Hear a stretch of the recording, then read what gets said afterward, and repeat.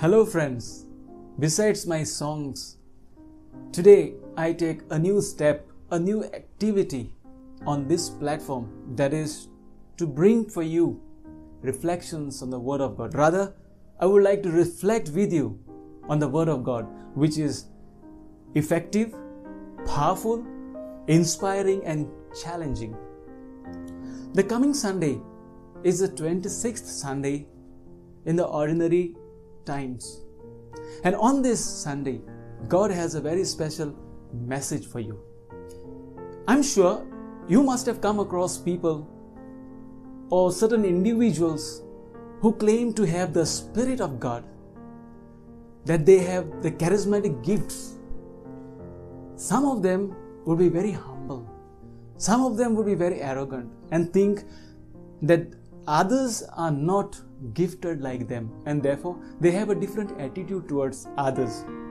You must have also come across people or certain groups or communities that because they are chosen, consecrated, or set apart, or directly anointed by the Holy Spirit, think that God is with them and not with the others.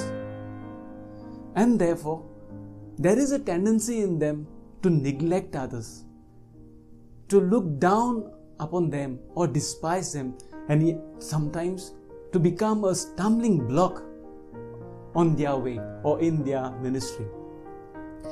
Today, in the first reading, we have a very interesting incident. To understand this reading, you need to know what is the tent of the meeting and especially its location.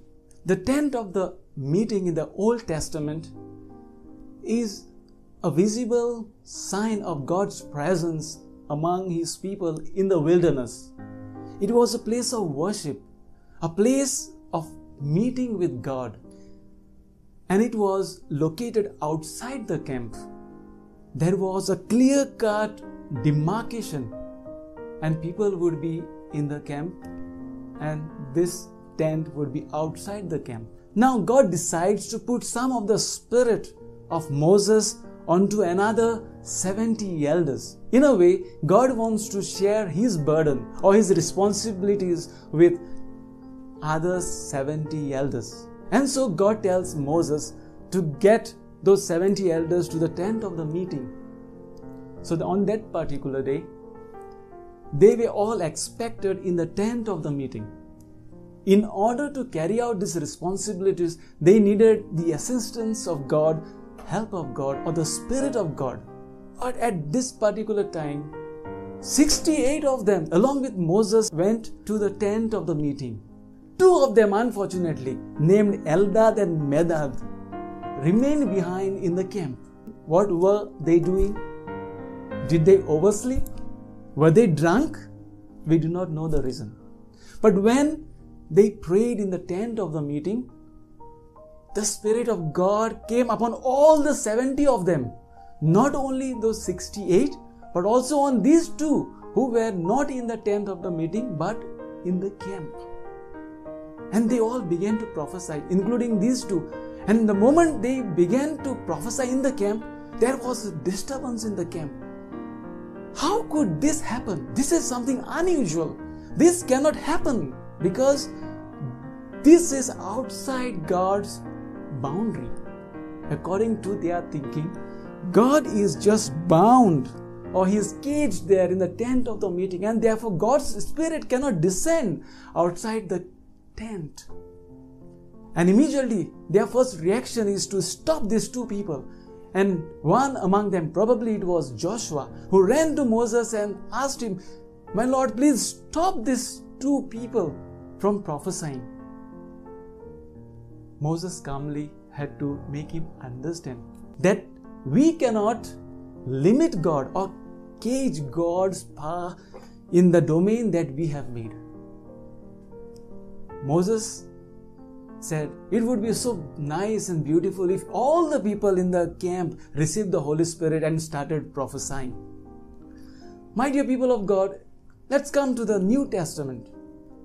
Jesus and 12 apostles were together. Apostles always felt that they were special people. because they were specially chosen by God.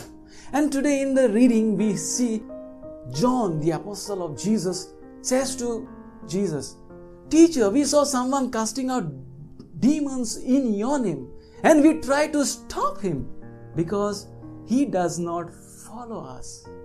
Why did he try to stop? Why did the apostles try to stop that man who was casting out demons? Because according to them, only they are the chosen ones. The 12 of them, only they had the authority to cast out demons. We may remember that Jesus had given them the authority to go out, to preach, to heal, and even to cast out demons. And therefore, they were so narrow minded people that someone else doing the same work of authority they could not tolerate. And therefore, they tried to stop that man. This can also be driven by a little bit of jealousy from the part of the apostles. Earlier, the apostles were unable to cast out a demon from a young boy. And Jesus later on had to come on the scene and cast out that demon. And now they acknowledge their failure and see somebody else doing this act of power. And Jesus, the new Moses, now corrects the Apostle John and all the apostles to come to the right understanding of God and His power.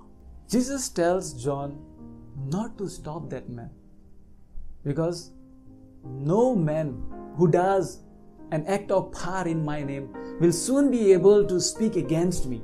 Whoever is not against us is for us. Jesus makes them understand that we cannot cage God or God's power or His working within ourselves. That God's Spirit can work anywhere and in any person. Jesus wants us not to hinder people or become a stumbling block in the ministries of people who do good acts or even acts of power in the name of Jesus or in the name of God. Our Mother Church is so wise. Mother Church has accepted and understood the significance of these readings and therefore Mother Church has taken these readings as a guide for the ecumenical endeavor and also to solve disputes arising because of the different elements, charismatic elements in the church.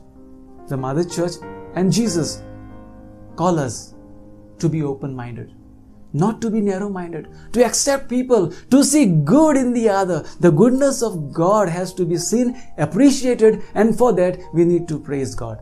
I would like to speak about the remaining part of the gospel reading because Jesus tells his disciples not to lead somebody else into sin, especially the little ones, those who are weak in their faith, small children. And it is very, very serious sin to lead young people or small children to do something evil. The consequences of this sin would be very serious.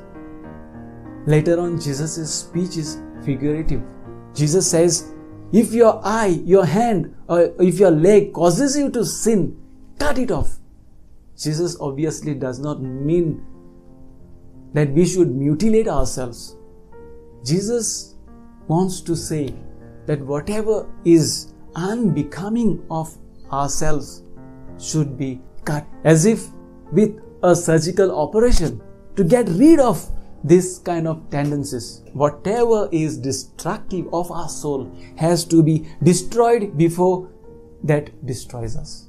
My dear people of God, on this uh, coming Sunday, as we participate in the Holy Eucharist, let us ask God's grace so that we may be open people, broad minded people, and that we may be able to accept people, that we may be able to see goodness of God, power of God working in the other and also be good examples to others to lead them to the right way God wants us to be. God bless you.